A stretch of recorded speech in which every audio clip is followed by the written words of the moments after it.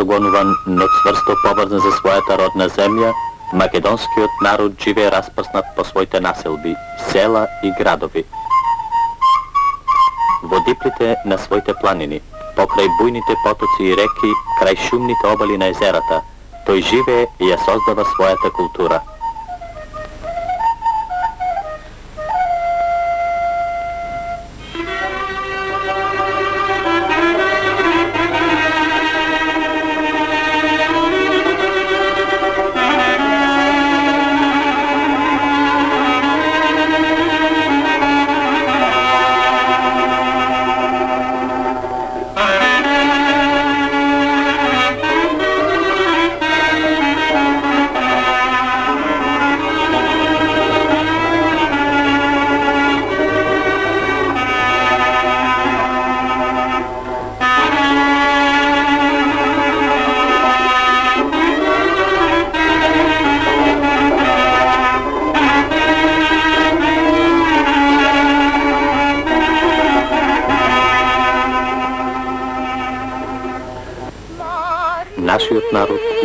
Ја својата тага и радост преку своите песни и игри.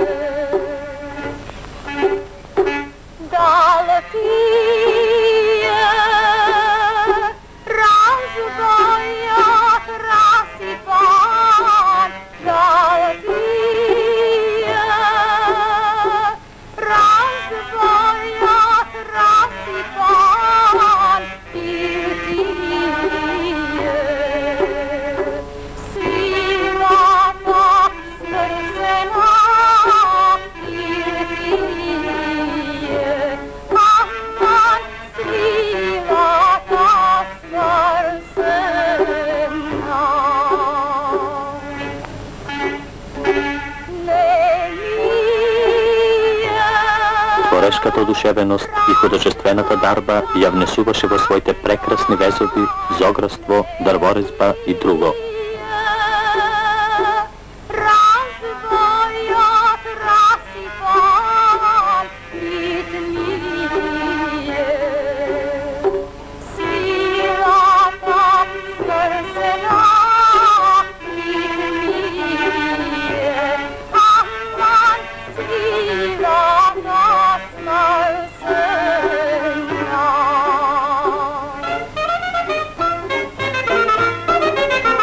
11 октомври минатата година, на годишнината од денот кога во 1941 година пукна првата востаничка пушка против окупаторот во Македонија, во Битола и Штип се одржаа првите фестивали на народни песни и ора.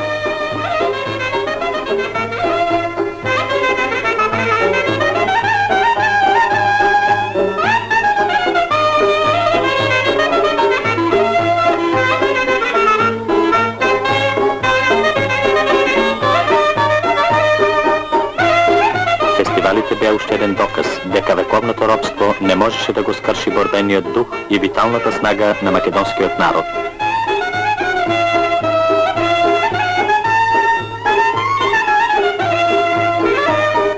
Во братската заедница со другите југословенски народи, а под раководството на комунистичката партија и другарот Тито, нашиот народ еднаш за секогаш ги раскина робските стеги. Стана господар во својата земја, слободно и несметано ги разгрна своите творечки сили.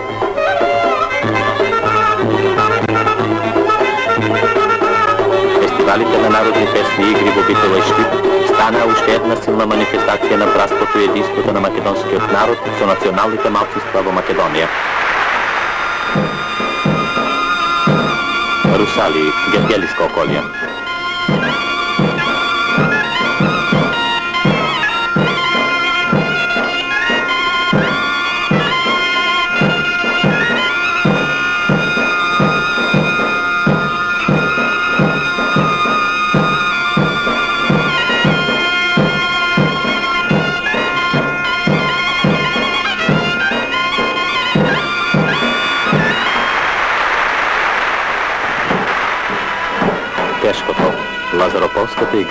grupa.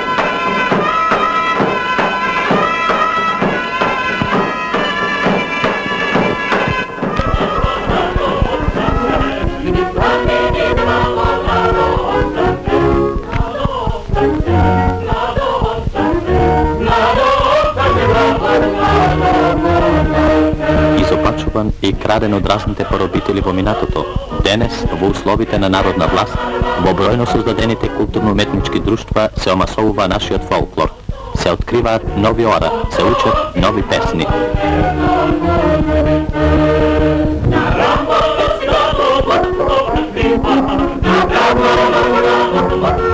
Во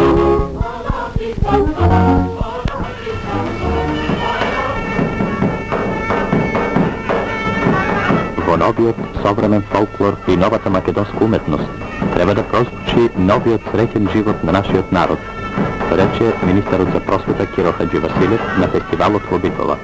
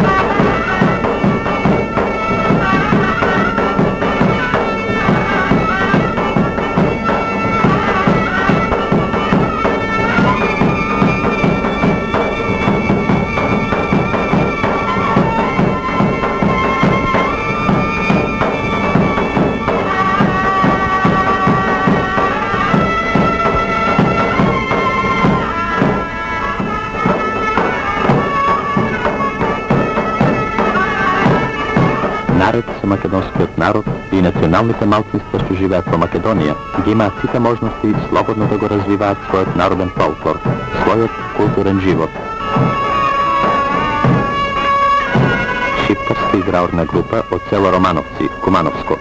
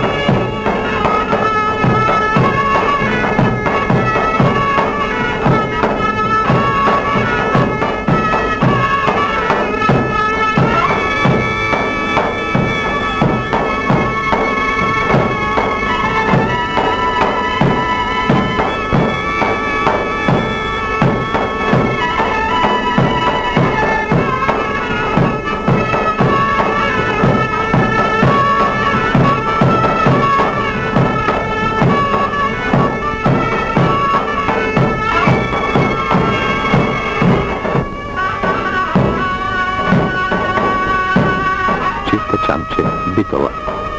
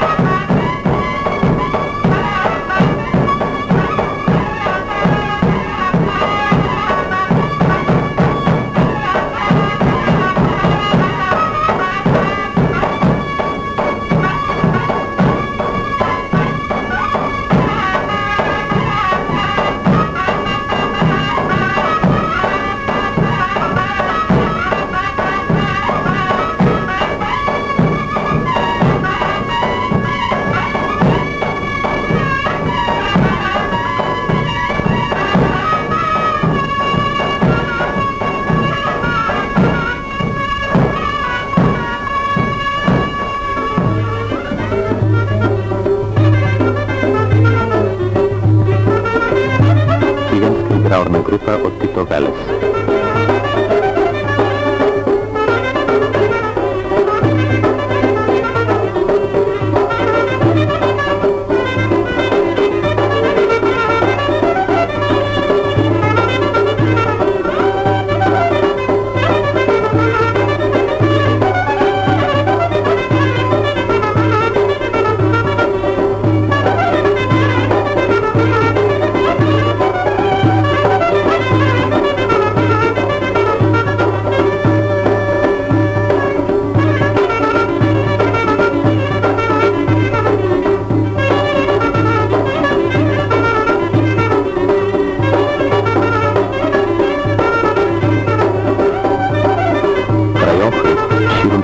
Убавата ковина, пионерите, залогот на нашата светла иднина, со неизбрана љубов ги играат ората на своите дедовци, ги пеат нивните песни, во нив ја сеќаваат тагата и радоста на минатото. А утре, тие ќе бидат творци на новите дела во нашата нова народна уметност.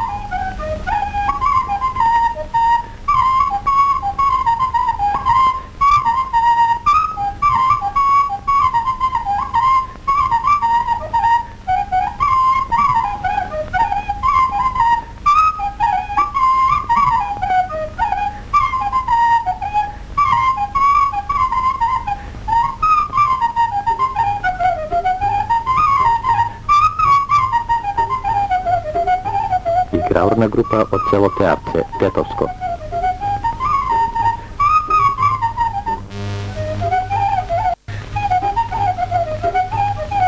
Се ближи денот на републиканските фестивали во Скопје. 11 октомври е на прагот.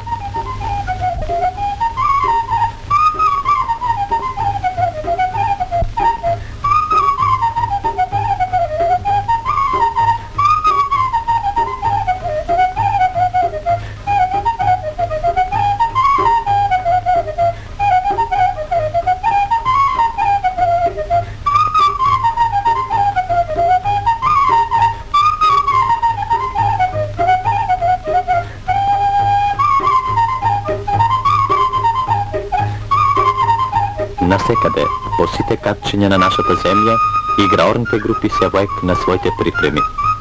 На 11 октомври тие ќе ги прикажат новооткриените богатства во нашиот фолклор. Ќе ја видиме масовноста на учесниците, ќе ги видиме постиженијата на нашата народна уметност.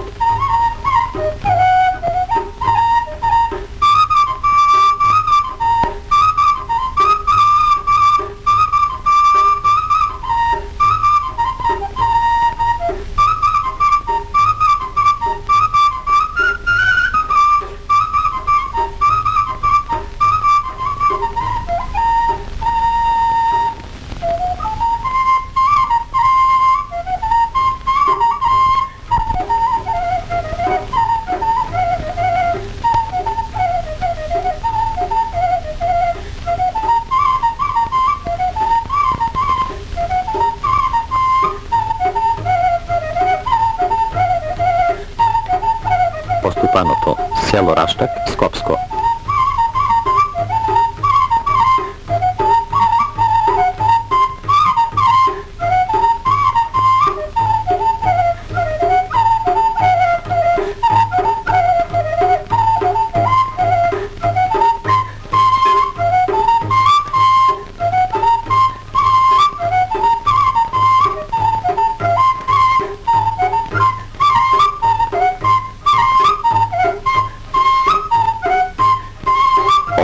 Скопско. Републикански фестивали ќе станат уште една силна манифестација на слободниот и полетен живот на македонскиот народ.